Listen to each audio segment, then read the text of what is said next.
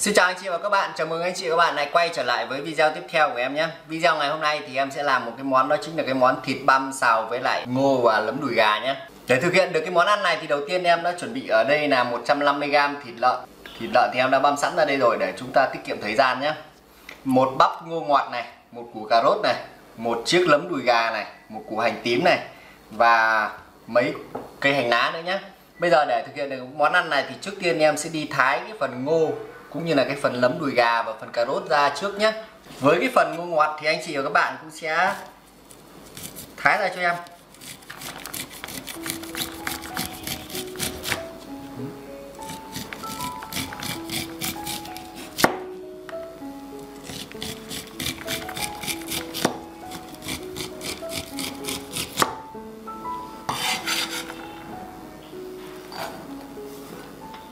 Phần ngô ngọt sẽ đến cái phần cà rốt nhé. Anh chị và các bạn cũng sẽ lao quả thành quả đây cho em.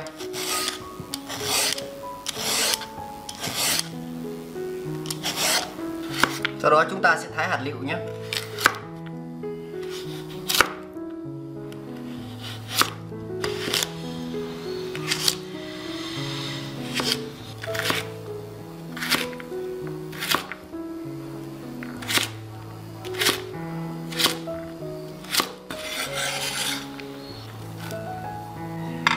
Với phần lấm đùi gà thì em cũng sẽ thái hạt lựu nhé.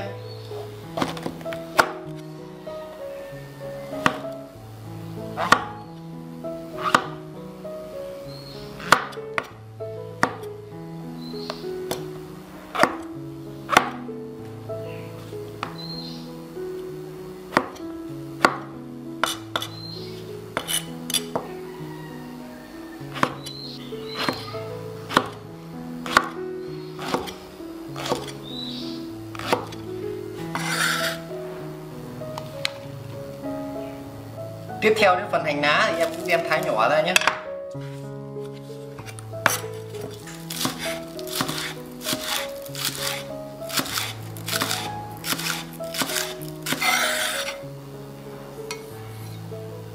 Cuối cùng chính là cái phần hành tím. Anh chị cũng đem thái mỏng ra cho em.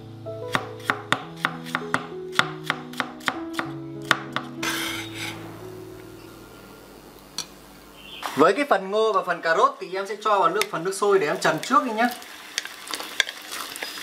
bởi vì hai cái này nó cũng hơi lâu chín một chút. Sau khi phần ngô và phần cà rốt đã trần sôi lên được khoảng tầm một phút rồi thì em sẽ vớt nó ra nhé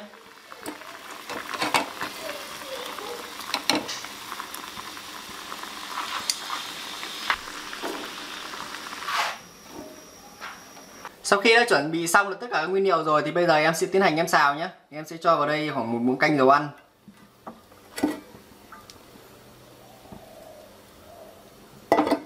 Sau đó sẽ là cái phần hành tím nhé.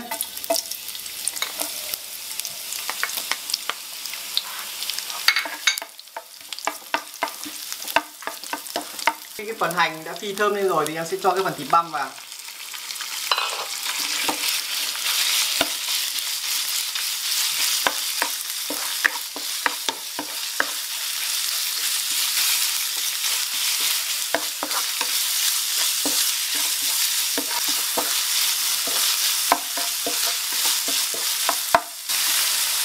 Sẽ cho vào đây khoảng một thìa nước mắm nhé.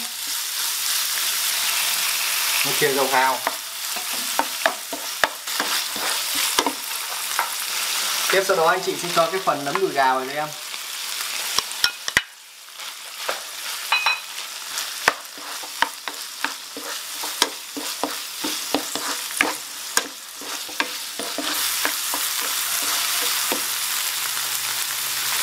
Sau đó sẽ cho đến cái phần cà rốt cũng như là phần ngô ngọt vào nốt nhé.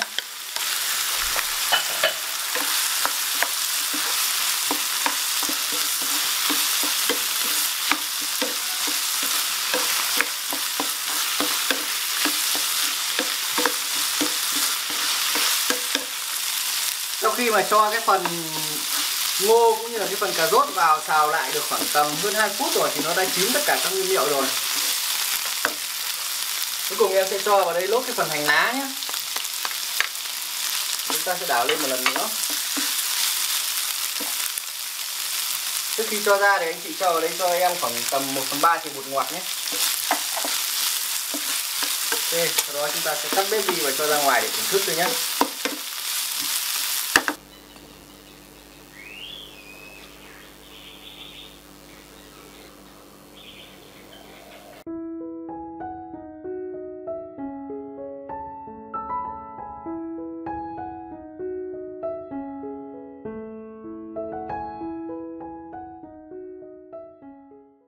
Như vậy thì cuối cùng em cũng đã hoàn thành xong cái món thịt băm xào với lại ngô ngọt cũng như là lấm đùi gà nhé Bây giờ thì em sẽ thử nó thôi.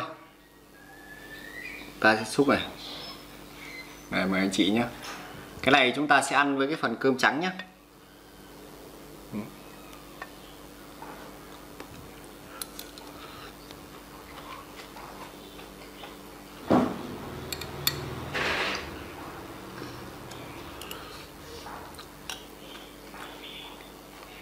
với cách làm như thế này đấy, thì khi mà chúng ta ăn đấy cái phần nấm thì ăn nó cảm giác nó dai dai, nó thơm thơm. Cái phần ngô thì ăn ngọt ngọt, phần được cà rốt ăn ngọt ngọt. Và cả cái phần thịt thì cảm giác ăn rất là bùi và ngon. Đây là một trong những cái món cũng rất là thích hợp cho cái bữa cơm gia đình hàng ngày. Thì video của em đến đây đã kết thúc rồi. Cảm ơn anh chị và các bạn đã theo dõi video của em nhé. Nếu cảm thấy video của em hữu ích thì nhớ bấm đăng ký kênh để ủng hộ em nhé. Còn bây giờ thì xin chào và hẹn gặp lại anh chị trong những video tiếp theo nhé.